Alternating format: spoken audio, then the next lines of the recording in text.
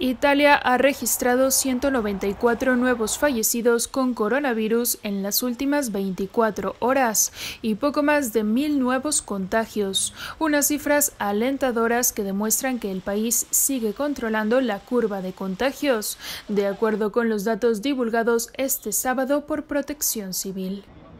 El número total de fallecidos desde que se inició la emergencia en Italia el 21 de febrero alcanza los 30.395 y los casos de contagio totales superan los 218.000. La región más afectada es de lejos Lombardía, en el norte, con más de 81.000 contagios totales, y la que menos casos tiene es la sureña Molise, con 347. Varias regiones de Italia han pedido este sábado al gobierno poder gestionar de forma autónoma sus reaperturas graduales, como Liguria, donde su presidente ha solicitado hacerlo desde el lunes 18 de mayo. Será entonces cuando el país inicie la siguiente fase de su desescalada con la apertura de museos y bibliotecas a nivel nacional, mientras que el primero de junio será el turno de los restaurantes, bares, peluquerías y centros de estética.